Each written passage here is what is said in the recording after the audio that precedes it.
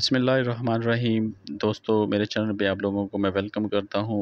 मेरे चैनल का नाम है फोर पिलर्स उम्मीद करता हूँ आप लोगों को मेरे तमाम लेक्चर्स पसंद आ रहे होंगे। आज हमने जो सेक्शन पढ़ना है, वो सेक्शन है section thirty three A of sales tax act nineteen ninety का। चैनल को सब्सक्राइब ज़रूर कीजिएगा बेल आइकॉन ज़रूर दबाइएगा। दोस्तों के साथ शेयर भी करें। अब मेरे चैनल का लिंक जो है वो मैं डिस्क्रिप्शन में डाल दूँगा। कॉपी पेस्ट कीजिए और अपने दोस्तों को व्हाट्सएप ज़रूर करें। शुरू करते हैं section thirty three proceeding against authority and persons हम पहले जैसे पढ़ चुके हैं पेनल्टीज़ टैक्स पेयर्स के बारे में सेक्शन थर्टी थ्री में। वो आलमोस्ट तमाम पेनल्टीज़ वो थी जो कि एक टैक्स पेयर के ऊपर लगती थी, वो क्या ऑफेंस करता था और उसकी क्या पेनल्टी होती थी, वो हम लोगों ने सेक्शन थर्टी थ्री में डिस्कस की है। ये सेक्शन थर्टी थ्री ए है, इसमें हम डिस्कस करने जा रहे हैं ऐसी पेनल्टीज़ या ऐसे ऑफेंसेस जो कि ऑफिसर्स या ऑफिशल्स करते हैं एफ़ आर के।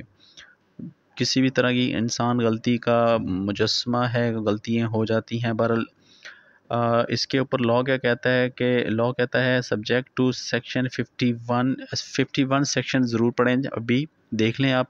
आ, वो है जी प्रोसीडिंग्स एंड प्रोसिक्यूशन इसके बारे में वो सेक्शन डिटेल से बताता है। बहरल उसी सेक्शन को आगे लेके चलते हैं। कहता है कि जी the board shall prescribe rules for initiating criminal proceeding against any authority mentioned in section thirty to thirty D D D section thirty मैंने आपको पढ़ाया है जी अथॉरिटीज़ के बारे में है, जो कि चीफ कमिश्नर से शुरू होकर इंस्पेक्टर तक जाती हैं। अगर इनमें से कोई भी अथॉरिटी किसी किस्म का ऑफेंस करती है तो उसके ख़िलाफ़ जो प्रोसीडिंग्स शुरू करेगा वो बोर्ड करेगा और थर्टी से लेके थर्टी डी डी तक। थर्टी जो है वो मैंने आपको पढ़ाया था thirty A B C D जो है ना ये सारे डायरेक्टरेट्स के बारे में बताता है including any officer official subordinate to the aforesaid authority हाँ आ, कोई भी उनका आगे फर्दर जो सबॉर्डिनेट है जो उस अथॉरिटी में नहीं आ रहा क्योंकि अथॉरिटीज़ जो हैं वो इंस्पेक्टर तक आती हैं, उसके बाद जो दूसरे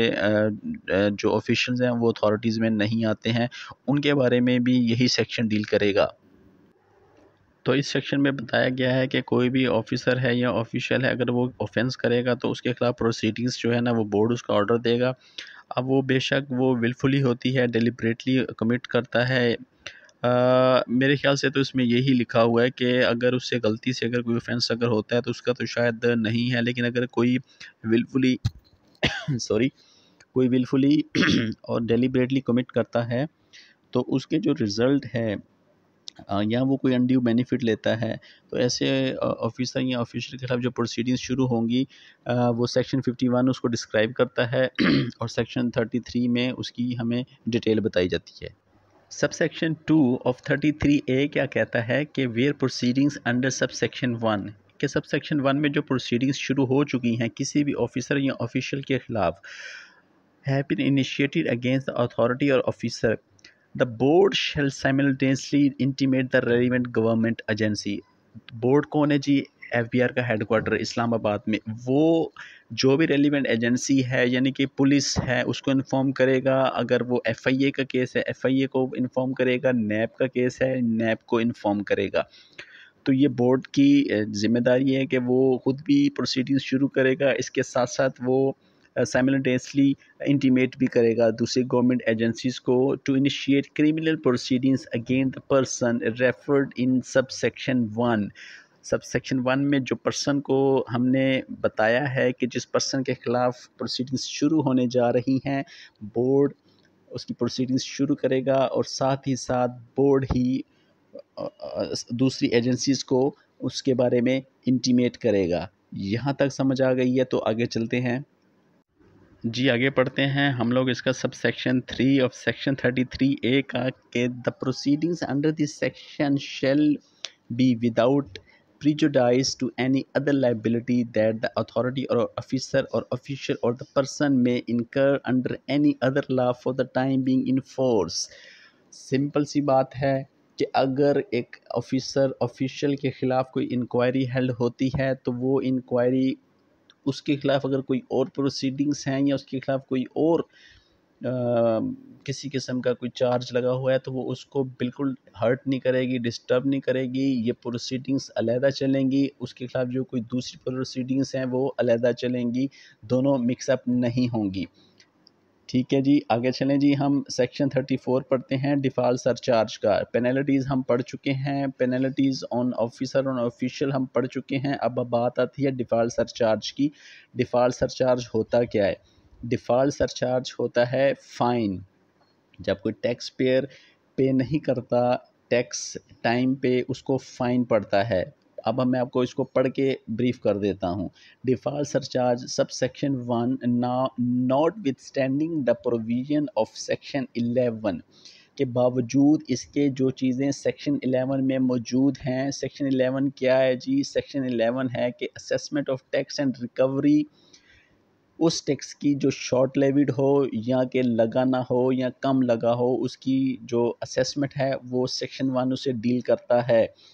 वैसे टैक्स को कौन डील करता है? मुकम्मल तौर पे सेक्शन थ्री कितना टैक्स लगेगा? ये सेक्शन थ्री डील करता है स्कोप ऑफ़ टैक्स डील करता है सेक्शन थ्री पढ़ लें आगे चलते हैं जी। If a registered person does not pay the tax due or any part thereof where wilfully or otherwise in time or in the manner specified under this act rule or notification issued under thereunder or claims are tax जैसे मैं आपको पहले बता चुका हूँ कि जो section eleven में मैंशन किया गया है कि अगर कोई बंदा जो है ना वो टैक्स जो उसके ऊपर ड्यू है, वो विलफुली या जानबूझ के वो टैक्स नहीं पे करता, उस उस अंदाज से, उस मैनर से, जिस तरह से कि नोटिफिकेशन में बताया गया है तो उस बंदे के ऊपर डिफ़ॉल्ट सरचार्ज लगेगा। डिफ़ॉल्ट सरचार्ज कैसे लगेगा, कितना लगेगा, आगे पढ़ते हैं। Claims a tax credit refund और makes an adjustment which is not admissible to him और incorrectly applies the zero rate percent to supplies made by him यानी कि एक टैक्स पेयर है, या तो वो उस मैदर में टैक्स पे नहीं करता, या वो टैक्स पेयर जो है वो कम टैक्स पे करता है, या उस तरह से एडजस्टमेंट्स नहीं करता ज़ीरो रेट गलत अप्लाई करता है, या ज़ीरो रेट उस पर नहीं अप्लाई होता था। वो फिर भी अप्लाई कर देता है तो ही shall in addition to tax due जो उसका टैक्स बनता है pay default surcharge at the rate mentioned below तो ऐसा बंदा जो है ना, वो जो रेट है ना, उसके नीचे जो दिए गए इसके मुताबिक वो एक्स्ट्रा टैक्स पे करेगा जो उसके ऊपर ड्यू है।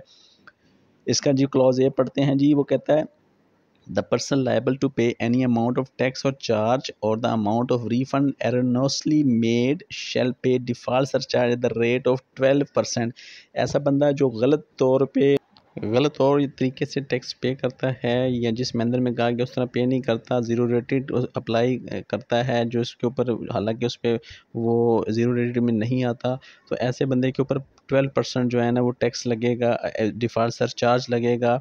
ये पेपर में आपको क्वेश्चन आ सकता है कि ये आपसे पूछ के कि एक बंदा जो है ज़ीरो रेटेड सप्लाई ना होने के बावजूद वो ज़ीरो रेटेड अप्लाई करता है तो इस पर कितने परसेंट टैक्स सरचार्ज टैक्स लगेगा? तो आप बताएँगे जी उसके ऊपर ट्वेल्व परसेंट सरचार्ज टैक्स लगेगा। बी क्लॉज इसकी ख़त्म हो चुकी है ओमिट हो चुकी है जी आगे पढ़ते हैं जी सी क्लॉज की तरफ़ चलते हैं। In case the default is on account of tax fraud ये टैक्स फ्रॉड के बारे में है वो गलत मैनर के बारे में था।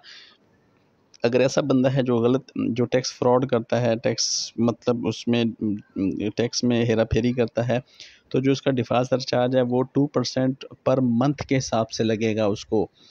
जिस डेट से उसने टैक्स फ्रॉड किया है, उस डेट से लेके जिस डेट को उसको वो उसको, उसके बारे में पता चल गया है टैक्स अथॉरिटीज़ को तो वो टू परसेंट पर मंथ के हिसाब से डिफ़ॉल्ट सरचार्ज पे करेगा, प्लस जो उसका टैक्स चार्ज बनता है वो भी, वो पे करेगा।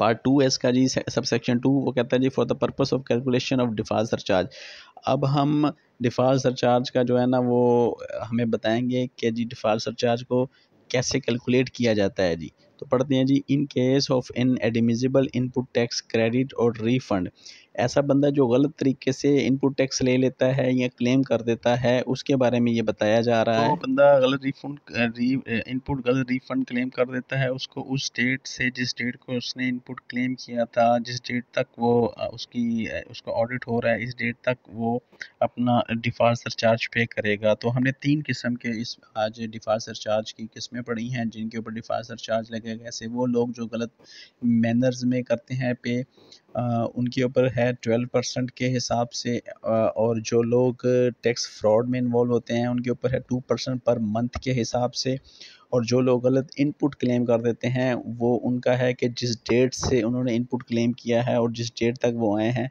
उसके वो उतना टैक्स पे करेंगे डिफ़ॉल्ट सरचार्ज में। इसमें मज़ीद ये सुन लीजिए कि एक्सप्लेनेशन वो कर रहा है कि for the purpose of this act section tax due does not include the amount of penalty जो उसका टैक्स ड्यू है, उसके में हरगिज़ ये मतलब नहीं है कि उसमें पेनल्टी की अमाउंट शामिल है पेनल्टी की अमाउंट अलहदा शामिल होगी।